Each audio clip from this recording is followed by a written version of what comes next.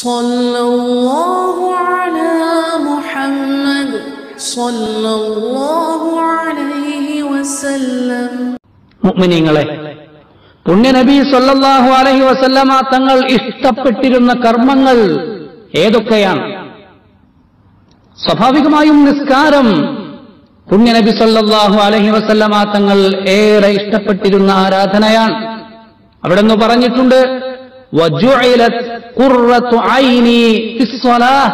എന്റെ നയനങ്ങളുടെ ആനന്ദം എന്റെ കണ്ണുകൾക്ക് ഏറ്റവും കൂടുതൽ ആനന്ദം ലഭിക്കുന്നത് നിസ്കാരത്തിലാണെന്ന്. പുണ്യനബി സല്ലാഹു അലൈഹി വസല്ലമ തങ്ങൾ നിസ്കാരത്തെ ഇഷ്ടപ്പെട്ടു എന്നതുകൊണ്ട് തന്നെ സർവ നിസ്കാരങ്ങളെ വേഗത്തിൽ കൃത്യസമയത്ത് അവിടുന്ന് നിർവഹിക്കാറുണ്ടായിരുന്നു. സുന്നത്തായ നിസ്കാരങ്ങൾ അവിടുന്ന് ശീലമാക്കാറുണ്ടായിരുന്നു. ആയിഷ റളിയല്ലാഹു അൻഹ പറയുന്നു കാന പുണ്യനബി തങ്ങൾക്ക് ഏറ്റവും ഇഷ്ടമുണ്ടായിരുന്ന നിസ്കാരം പതിവായി ചെയ്യുന്ന നിസ്കാരങ്ങളായിരുന്നു ശീലമായി മാറിയ നിസ്കാരങ്ങളായിരുന്നു. പുണ്യനബി പതിവായി ചെയ്തിരുന്ന കൃത്യമായി നിസ്കരിക്കുന്നത് ഇഷ്ടപ്പെട്ടിരുന്ന ഒരു പ്രധാന നിസ്കാരം. സുബഹ നിസ്കാരത്തിനു മുമ്പുള്ള രണ്ടു റക്കാത്തുകളായിരുന്നു.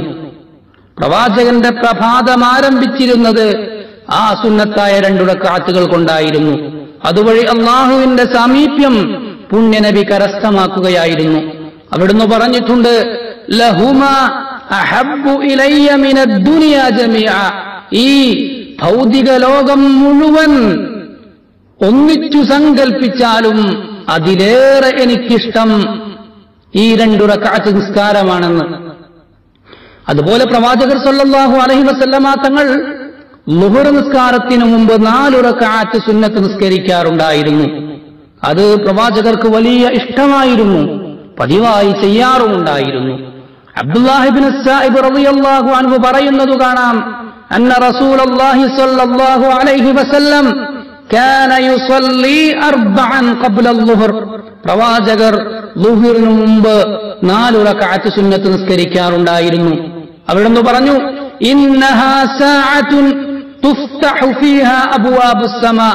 ആകാശത്തിന്റെ വാതിലുകൾ തുറക്കപ്പെടുന്ന സമയമാണ് ലുഹുർ നിസ്കാരത്തിന്റെ തൊട്ടുമുമ്പുള്ള സമയം. ആ നേരത്ത് ഒരു സൽക്കർമ്മമെങ്കിലും എന്നിൽ നിന്ന് ഉയർത്തപ്പെടണമെന്ന് അള്ളാഹുവിലേക്ക് ഉയർന്നു പോകണമെന്ന് ഞാൻ ഇഷ്ടപ്പെടുന്നു എന്നും പ്രവാചകർ സല്ലാഹു അലഹി വസല്ലമ തങ്ങൾ പറയുകയാണ്. പകൽ സമയം മുഴുവൻ നീണ്ടു നിൽക്കുന്ന ആരാധനയാണ് നോമ്പെന്ന് പറയുന്നത്.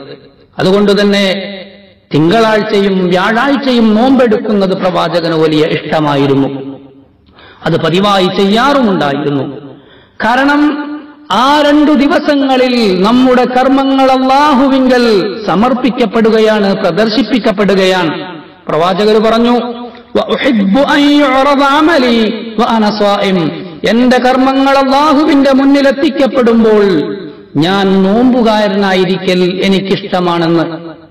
പുണ്യനബി സൊല്ലാഹു അലഹി വസല്ലമ തങ്ങളെ ഇഷ്ടപ്പെടുന്ന മുഅ്മിനീങ്ങളെ പുണ്യനബി സല്ലാഹു അലഹി വസല്ലമ തങ്ങൾ ഖുർആൻ ധാരാളമായി പാരായണം ചെയ്യുന്നതും ആ ഖുർആാനിന്റെ അർത്ഥതലങ്ങളെ കുറിച്ച് ആലോചിക്കുന്നതും ഏറെ ഇഷ്ടപ്പെട്ടിരുന്നു. ഖുർആാനിന്റെ സൂക്തങ്ങളിലേക്ക് നോക്കിയിരിക്കുന്നതും ആ സൂക്തങ്ങൾ വീക്ഷിക്കുന്നതും അവയെക്കുറിച്ച് ആലോചിക്കുന്നതും പ്രവാചകന് വലിയ ഇഷ്ടമായിരുന്നു. പുണ്യനബി സല്ലാഹു അലഹി വസല്ലമ തങ്ങൾ വലിയ ഇഷ്ടത്തോടെ പാരായണം ചെയ്യുകയും പ്രത്യേകം സ്നേഹിക്കുകയും ചെയ്തിരുന്ന ഒരു സൂക്തമായിരുന്നു അധ്യായമായിരുന്നു സൂറത്തുൽ ഫത്തഹ്. പ്രവാചകർ പറഞ്ഞു ലഖദ് സൂറ. ഈ രാത്രിയിൽ എനിക്കൊരു അധ്യായം അവതരിപ്പിക്കപ്പെട്ടിട്ടുണ്ട്. ഈ ഭൂമിയേക്കാൾ ആ അധ്യായം എനിക്കിഷ്ടമാണ് എന്നും അവിടുന്ന് പറഞ്ഞ ശേഷം പാരായണം ചെയ്തു. സൂറത്തുൽ മുബീന എന്ന് തുടങ്ങുന്ന അധ്യായമാണതെന്നും പ്രവാചകന് പറയുകയാണ്. കാരണം ആ അധ്യായത്തിൽ പ്രവാചകർ സല്ലാഹു അലഹി വസല്ലമ തങ്ങൾക്ക് മഗ്ഫിറത്ത് നൽകുന്ന സന്തോഷവാർത്തയുണ്ട്. മുഅ്മിനീങ്ങൾക്ക് നന്മയും തൃപ്തിയും സ്വർഗവും വാഗ്ദാനം ചെയ്യുന്ന സവിശേഷതയും ആ സൂറത്തിനുണ്ട്. പുണ്യനബി സല്ലാഹു അലഹി വസല്ലമ തങ്ങൾ ഖുർആൻ ശ്രവിക്കുന്നതേറെ ഇഷ്ടപ്പെട്ടിരുന്നു. ഒരിക്കൽ അബ്ദുല്ലാഹിബിൻ മസ്ഊദ് റളിയല്ലാഹു അൻഹുവിനോട് പ്രവാചകർ പറഞ്ഞു അത്രേ താങ്കൾ എനിക്ക് ഖുർആൻ ഓതി തരണമെന്ന്. അബ്ദുല്ലാഹിബിൻ മസ്ഊദ് റളിയല്ലാഹു അൻഹു ചോദിച്ചു അഖ്റഉ അലൈക വഅലൈക ഉൻസിൽ തിരുനബിയെ അങ്ങേക്ക് അവതീർണമായ ഖുർആനാണ് ഞാൻ അത് അങ്ങേക്ക് ഓതി കേൾപ്പിച്ചു തരികയോ എന്ന് പ്രവാചകർ പറഞ്ഞു فإني أحب أن أسمعه من غيري ഞാനല്ലാത്തവരിൽ നിന്ന് ഖുർആൻ കേൾക്കുന്നത് മറ്റൊരാളുടെ പാരായണം കേൾക്കുന്നത് എനിക്കിഷ്ടമാണെന്ന് അബ്ദുല്ലാഹിബിൻ മസൂദ് പറഞ്ഞു റളിയല്ലാഹു അൻ فقرأت عليه سورة النساء ഞാൻ അങ്ങനെ പ്രവാചകന് സൂറത്തുൽ നിസ പാരായണം ചെയ്തു കൊടുത്തുകൊണ്ടിരിക്കുകയായിരുന്നു. അങ്ങനെ ഞാൻ അള്ളാഹു പറയുന്ന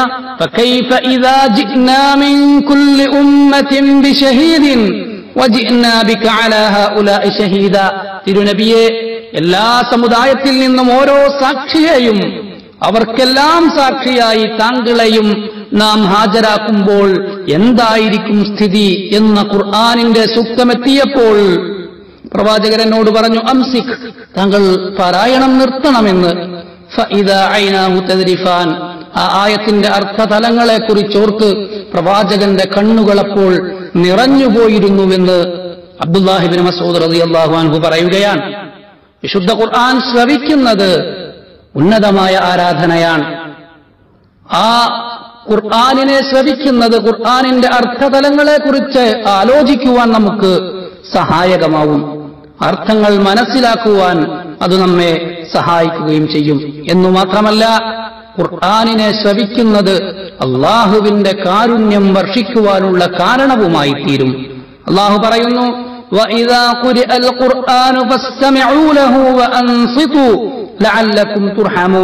ഖുർആൻ പാരായണം ചെയ്യപ്പെടുമ്പോൾ നിങ്ങളത് സശ്രദ്ധം ശ്രവിക്കുകയും നിശബ്ദത പാലിക്കുകയും ചെയ്യുക എങ്കിൽ നിങ്ങൾക്ക് കാരുണ്യവർഷമുണ്ടായേക്കാം. ലൈസുബിന് സഹദ് എന്ന മഹാൻ പറയുന്നത് കാണാം.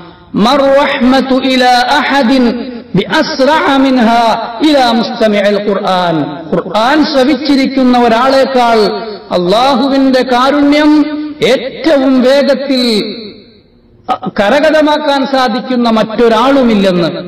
കാരണം ഖുർആൻ ഏറ്റവും മഹത്തരമായ ദിക്റാൻ പുണ്യനബി സല്ലാഹു അലഹി വസല്ലമ തങ്ങളാവട്ടെ ദിക്റുകളെ വല്ലാതെ ഇഷ്ടപ്പെടുകയും അള്ളാഹുവിനെ എല്ലാ സമയങ്ങളിലും എല്ലാ അവസ്ഥാന്തരങ്ങളിലും സ്മരിക്കുവാൻ ഇഷ്ടപ്പെടുകയും ചെയ്തിരുന്നു.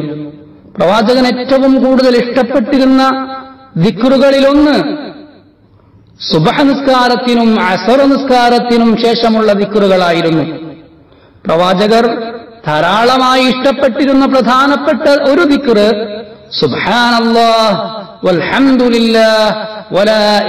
ഇല്ലല്ലാഹ് വല്ലാഹു അക്ബർ എന്ന ദിക്കറാണ് പ്രവാചകർ ആ ദിക്റിനെ കുറിച്ച് പറയുന്നത് അഹബ്ബു ഇലയ്യ മിമ്മാ ഈ ഭൂമിയേക്കാൾ ഈ ഭൂമിയിലുള്ള മുഴുവൻ വസ്തുവകകളെക്കാളും എനിക്കിഷ്ടം ഈ വചനങ്ങളാണ് ഈ വിക്രുകളാണ്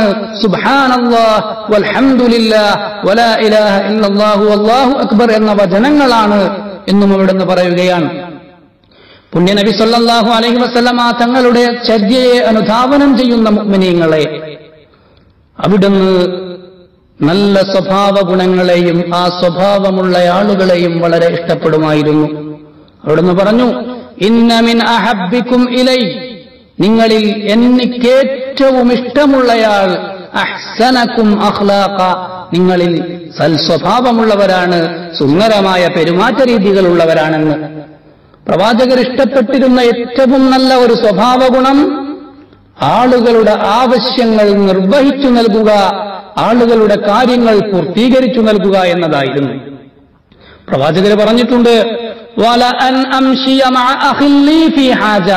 എന്റെ ഒരു സഹോദരന്റെ ആവശ്യത്തിനു വേണ്ടി അങ്ങോട്ടും ഇങ്ങോട്ടും സഞ്ചരിക്കൽ.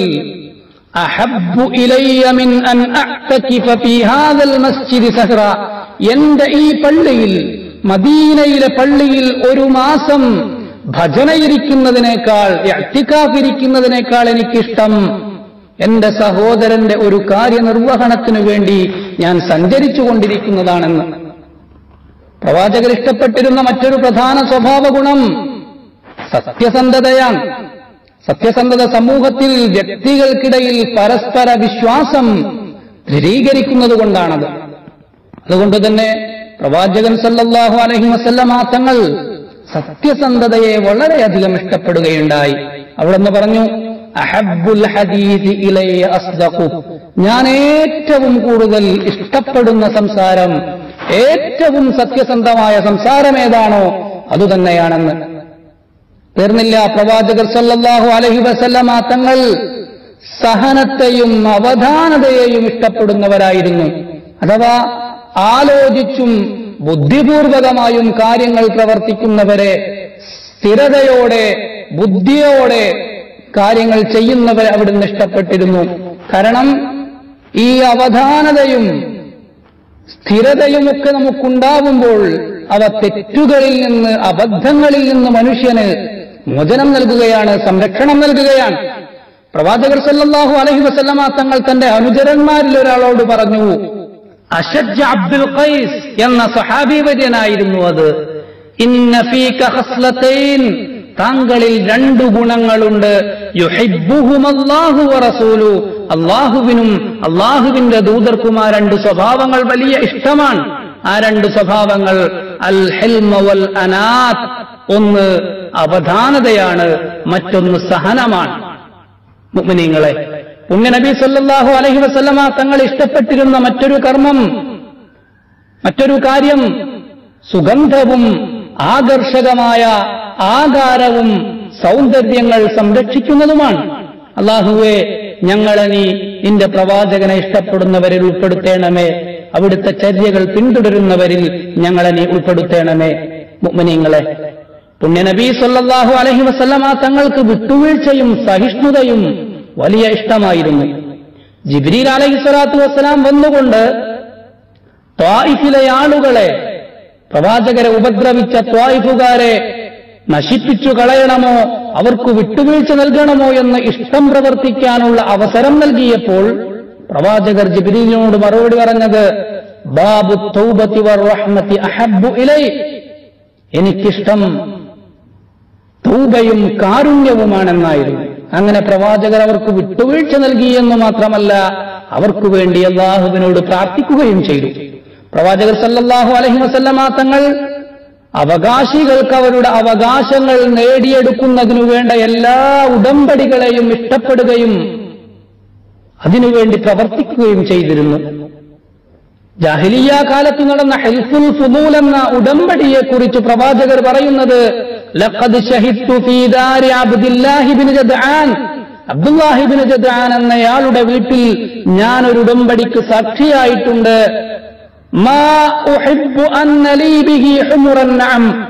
ഏറ്റവും മുന്തിയ തരം ഒട്ടകങ്ങൾ ധാരാളം എനിക്കുണ്ടാവുന്നതിനേക്കാളും എനിക്കിഷ്ടം ആ ഉടമ്പടിയായിരുന്നു. ലൗ ഫിൽ ഇസ്ലാമിൽ അജബ്. ഇന്നു ഞാൻ ഇസ്ലാമിന്റെ വക്താവാണ്. ഈ സമയത്ത് അത്തരമൊരു പൊതുവായ ഉടമ്പടിക്ക് എന്നെ ക്ഷണിക്കപ്പെടുന്നുവെങ്കിൽ ഞാൻ ആ ക്ഷണം സ്വീകരിക്കുമെന്നും പ്രവാചകർ പറയുകയാണ്. ഹൽഫുൽ ഫുദൂൽ എന്ന് പറയുന്നത് ജാഹിലിയ കാലത്ത് ഗോത്രങ്ങളെല്ലാം ഒരുമിച്ചുകൂടി എടുത്ത ഒരു ഉടമ്പടിയായിരുന്നു. മർദ്ദിതരെ സഹായിക്കുവാനും നന്മയിലും ഗുണത്തിലും പരസ്പരം സഹകരിക്കുവാനും സമൂഹത്തിൽ ഐക്യവും സമാധാനവും സുരക്ഷയും ഉണ്ടാകുവാനും വേണ്ടിയെടുത്ത ഒരു ഒരു ഉടമ്പടിയായിരുന്നു അത്. അതുകൊണ്ട് അതുതന്നെയാണ് വിശുദ്ധമായ ദീൻ നമ്മോട് പറയുന്നതും. അള്ളാഹു സുബാനമുഖത്താലയും അവിടുത്തെ പ്രവാചകരും ഇഷ്ടപ്പെടുന്നതും അത് തന്നെയാണ്. പ്രവാചകർ പറയുന്നു ഇലല്ലാഹ്. അള്ളാഹുവിന് ഏറ്റവും ഇഷ്ടമുള്ള മതം മതാചാരം അൽ ഹനീഫിയത്തു സംഹ വിശാലതയും ഋജുത്വവുമുള്ള വളച്ചുകെട്ടുകളില്ലാത്ത മതമാണെന്ന്.